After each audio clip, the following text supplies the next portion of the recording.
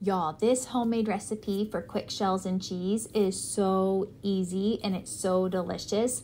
You just cook it up and serve it right from your stove top. I don't bake this one. I love it so much because I know exactly what's going into it. I definitely use processed cheese in this recipe because it just melts so great and I combine it with some Colby Jack and it just adds the best flavor.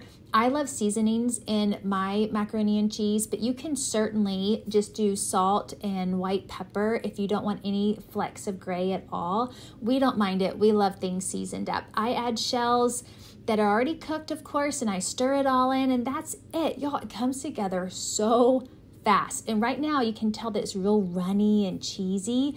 And then as it sits for a couple minutes, it gets nice and thick. As you go ahead and you serve up your dishes and you have your protein and your other vegetables on your plate, you'll see that by the time it gets to the table, looky there, it's nice and thick. It is so delicious. It's always a hit. My kids love it. I hope you try it. Enjoy.